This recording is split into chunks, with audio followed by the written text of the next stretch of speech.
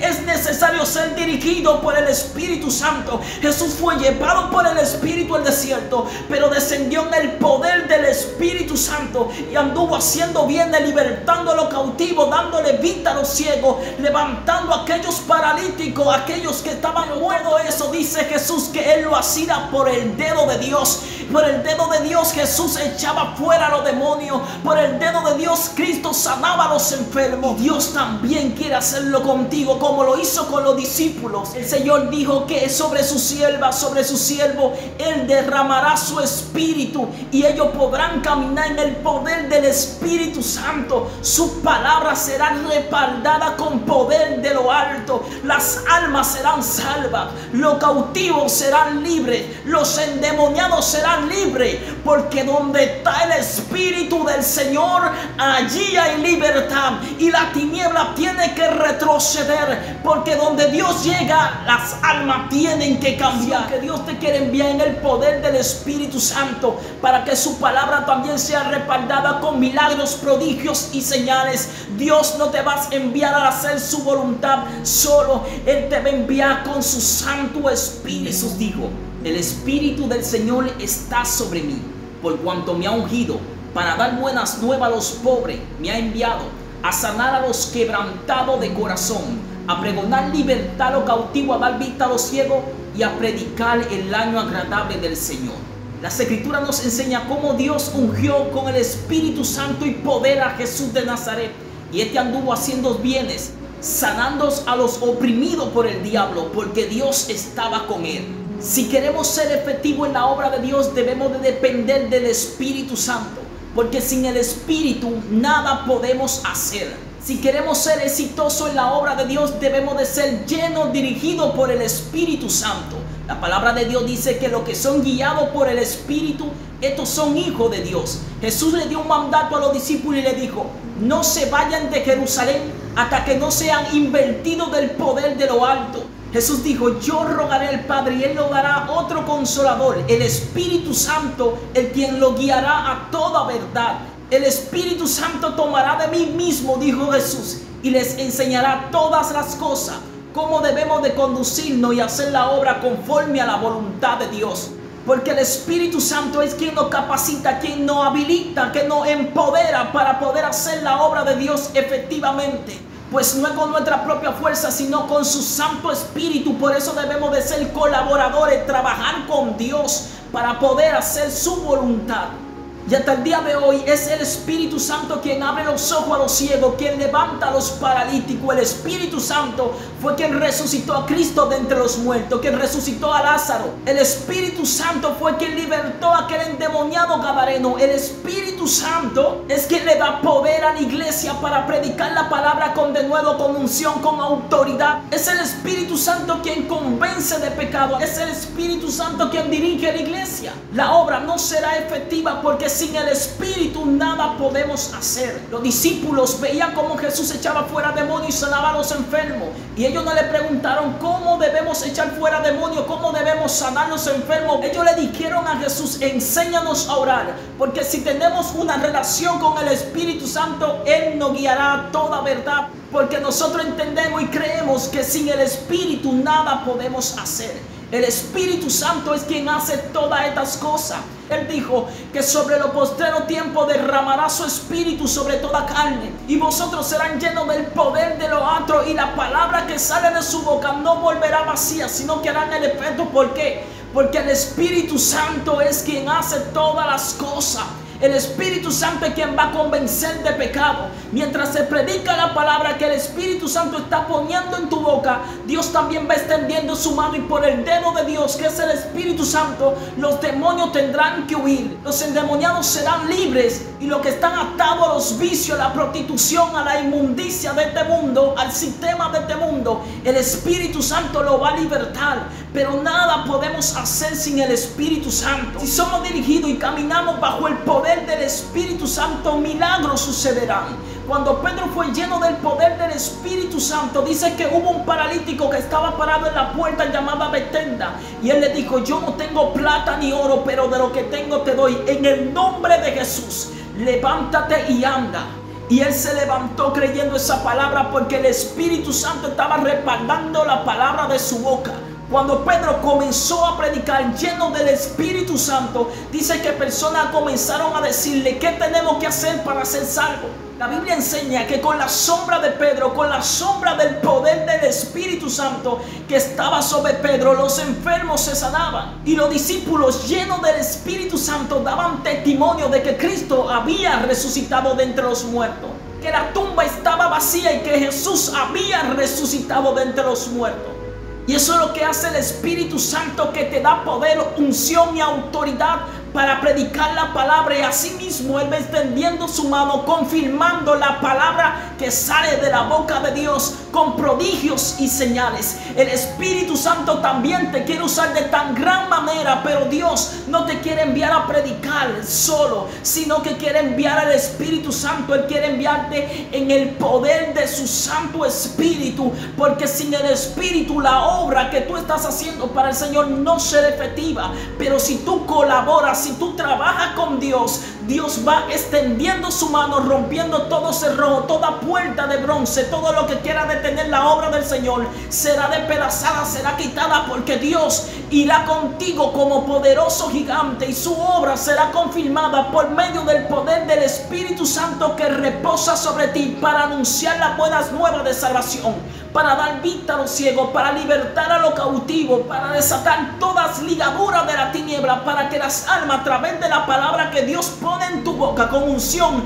los yugos se van a pudrir, las enfermedades tendrán que dejar los cuerpos porque el poder del Espíritu Santo reposa sobre ti y Dios va a respaldar su obra porque muchos altares van a caer, pero será por la intervención del poder del Espíritu Santo que reposa sobre ti.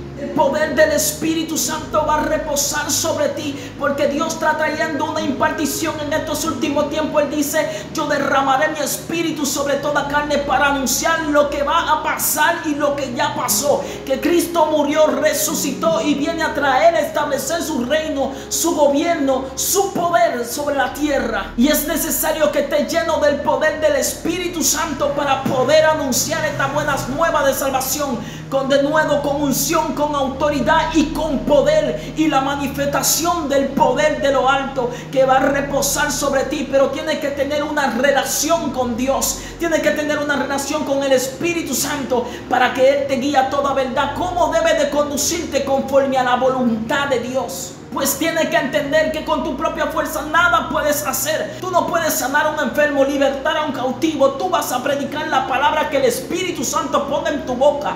Pero es el Espíritu Santo quien va a convencer. Es el Espíritu Santo que va a libertar. Es el Espíritu Santo que va a traer una nueva impartición de dones sobre aquellos que están escuchando la palabra que Dios ha puesto en tu boca. Es necesario ser dirigido por el Espíritu Santo. Jesús fue llevado por el Espíritu al desierto descendió en el poder del Espíritu Santo y anduvo haciendo bien, libertando a los cautivos, dándole vida a los ciegos, levantando a aquellos paralíticos, aquellos que estaban muertos en el muladán. Cristo lo levantó y volvieron a vivir. Pero todo eso dice Jesús que Él lo hacía por el dedo de Dios. Por el dedo de Dios Jesús echaba fuera a los demonios. Por el dedo de Dios Cristo sanaba a los enfermos. Por el dedo de Dios rompía toda ligadura, toda opresión de Satanás. Y Dios también quiere hacerlo contigo como lo hizo con los discípulos. Los discípulos dijeron, Señor, en tu nombre echamos fuera demonios, sanamos enfermos. Pero Jesús le dijo, procuren que el Espíritu Santo esté con ustedes todos los días de su vida. Procura que el Espíritu Santo sea tu amigo,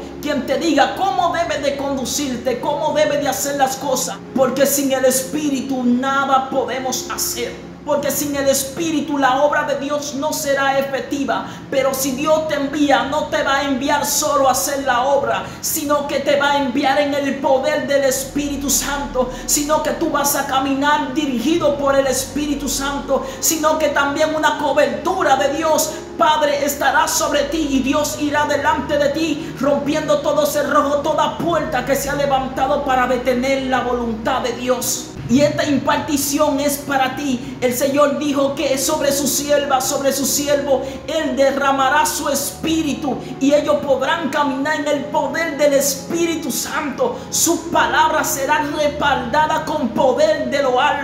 Las almas serán salvas. Los cautivos serán libres. Los endemoniados serán libres. Porque donde está el Espíritu del Señor, allí hay libertad. Y la tiniebla tiene que retroceder porque donde Dios llega, las almas tienen que cambiar.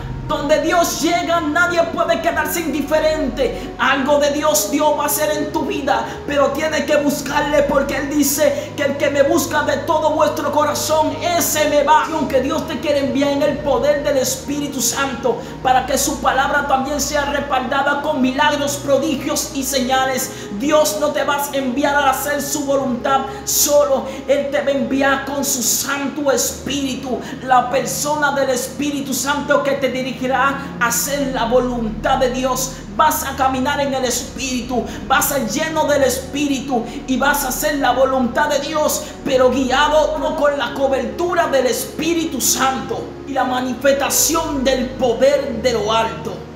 Padre, en el nombre de Jesús, sobre tu sierva, sobre tu siervo que está escuchando este mensaje. Dios mío, en el nombre de Jesús, que tu promesa sea palpable, que sean llenos del poder del Espíritu Santo, que puedan caminar dirigidos por el poder del Espíritu Santo y que tu palabra sea respaldada con prodigios y señales, que mientras ellos prediquen tu palabra, Señor, ellos puedan, Dios mío, reconocer que tú estás con ellos y que donde ellos pisen, Dios mío, haya libertad que tu Espíritu Santo liberte, transforme, Dios mío, llene los corazones vacíos. Que tu Espíritu Santo, Dios mío, convenza de pecado. Tu palabra dice, Dios mío, que los que se acercan a ti, Dios mío, tú te vas a acercar a ellos, Dios mío. Que el que a ti viene, Dios mío, tú no lo vas a echar fuera. En el nombre de Jesús de Nazaret, derrama tu Espíritu, Dios mío, sobre tu sierva que estés escuchando este mensaje. En el nombre de Jesús de Nazaret, que tenga hambre y sed, Dios mío, por tu palabra.